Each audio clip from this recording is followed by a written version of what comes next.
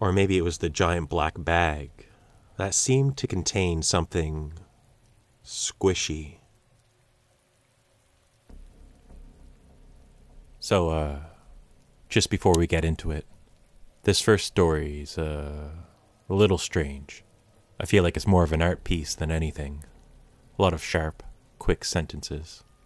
Anyways,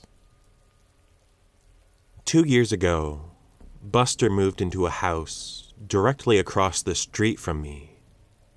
This house has a long history of being a sanctuary of sorts for animals, homeless people, addicts, and fugitives. Sometimes it's a nightmare to live across the street from it, but it has gotten a bit better over the years. Enter Buster. Buster fixes up vehicles and lawnmowers. He turns bicycles into motorcycles. He collects subwoofers and installs them for people. Test drives, constant revving and loud music. This is all to say, there's a lot of noise. But whatever. Live and let live, right? But Buster, he can stay awake for a couple days. And the noise started continuing into the wee hours of the night. This kept me awake. I can't stay awake for days. I get angry. Asking Buster nicely to respect the noise ordinance ends up not working. I continue to lose sleep. Eventually, I snap and yell at him. It works. For a while, at least. I end up yelling at him a few more times. I screw up. The last time I lost my cool, Buster starts banging on his chest against my fence. Then he charges across the street and stops at the property line. Buster tells me he's going to come over someday and beat my ass. That reminds me of that uh, UFC clip of that guy. I'll try and include it. It's funny. Yeah, you better win your fight because I'm coming on your ass, boy. I'm coming for that ass. Pause. okay, anyways. But the noise after midnight stops, and I go back to ignoring Buster. One night, I'm out for a walk during the height of Pokemon Go.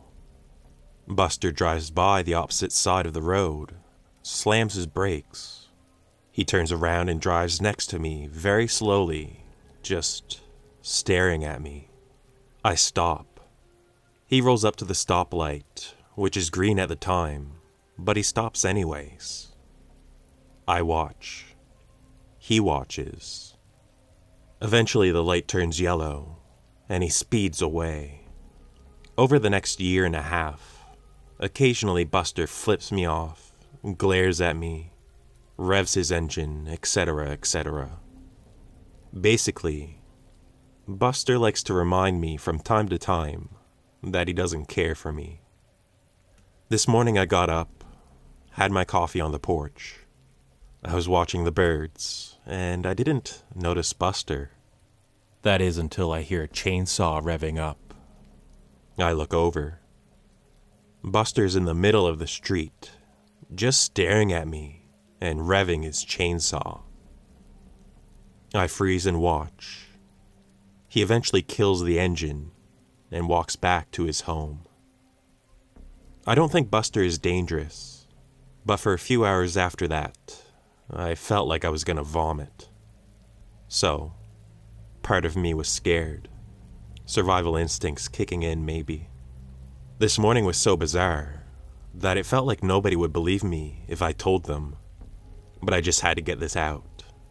So, thanks for listening. Oh, and be careful about losing your cool with people. You never know how they might react.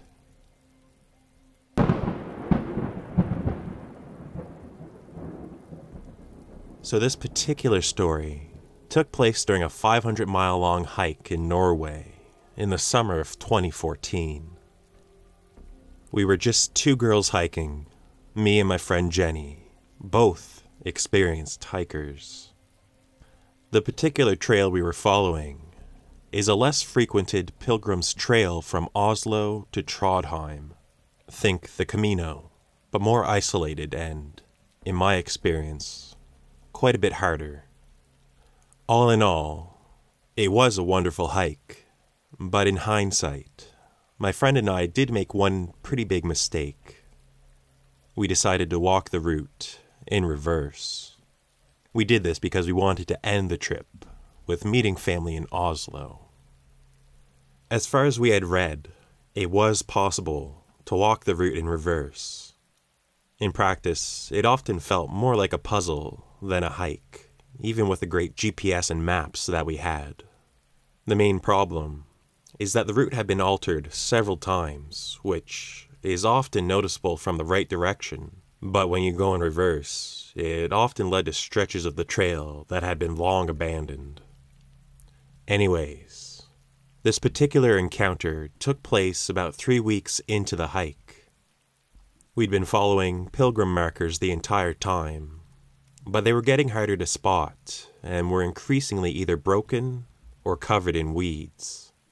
This was a dead giveaway that we were once again off track. Figuring that the routes would merge again, we marched on. We were in a forest on the side of a small mountain, broken by the occasional tiny field. This was nothing unusual in and of itself.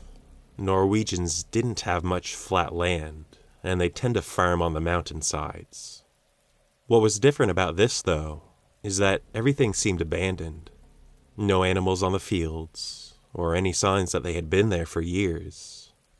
Even more strangely, there was overgrown, abandoned equipment, and no house was visible in sight.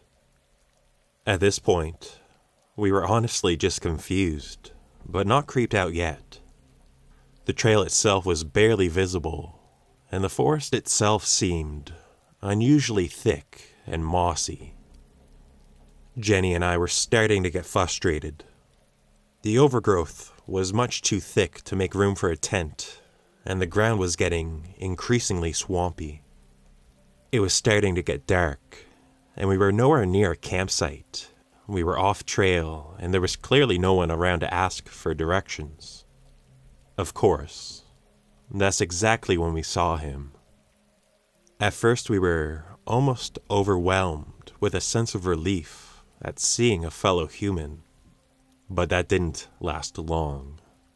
Maybe it was the fact that he was wearing business casual clothes in the middle of a seemingly isolated stretch of forest, or maybe it was the giant black bag that seemed to contain something squishy, or even still, maybe it was the fact that he was carrying a giant chainsaw. Either way, he seemed to have some of the coldest eyes I'd ever seen.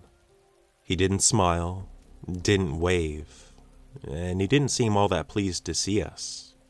He just kept walking the trail towards us, and we just kept walking the trail towards him.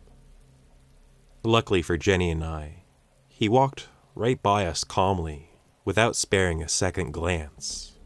He passed by us and disappeared into the forest, and once we couldn't hear him anymore, we ran like our lives depended on it. That night, we just kept on walking. Definitely one of the creepiest encounters of my life.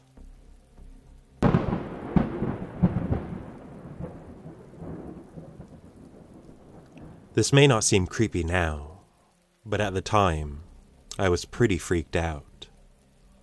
Backstory I live in a very small town, maybe 6,000 people at most, in rural Kansas. I'm not exactly sure how long ago this happened, but if I had to guess, maybe like seven years ago. Back then, we also used to have this weird neighbor. Besides being drunk all the time, his front yard had piles of wood and animal skulls all over the place. Anyways, I was living with my boyfriend at our old house where we had a decently big backyard. I think this story took place in the summer as it was nice out and I was in the backyard for a little bit. Something you should know about our property is that our backyard goes right up to the city park, and across the street from that small park is a bunch of houses. That's all to say, I heard some loud yelling coming from those houses just down the street from me. Being curious and having terrible night vision, I quietly slipped inside, grabbed my camera, just to use the zoom, of course, and went back to the corner of our backyard. There was bushes there, so I was well hidden. This sounds kind of sketch at this point, but anyways. I knew the owner of the house that the yelling was coming from, and at first I just assumed it was one of his friends that had had a bit too much to drink. That is until I heard a small engine being started. It didn't take me long to realize it was a chainsaw.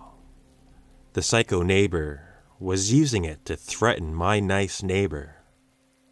I was about to call the cops when they showed up, actually. I just stayed there, frozen in my bush, as the guy was arrested and taken away. P.S. I don't know why, but I did hit the record button on my camera. She doesn't know why. I guess I thought that, if anything did happen, maybe I'd have proof of it.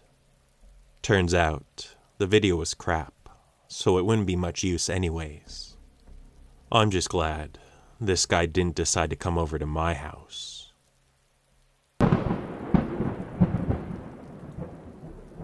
Hey guys, scary stories here. I hope you're doing well. That last neighbor kind of sounded like a, what do you call it? A busybody or something like that? Nosy Nancy. Anyways, I hope you enjoyed the video tonight. If you're still here and you're still listening, I hope you're taking care of yourself and treating yourself well. If you enjoyed the video, give it a like. If you disliked it, give it a dislike. Share it with your friends, and I'll see you in the next one. Bye for now.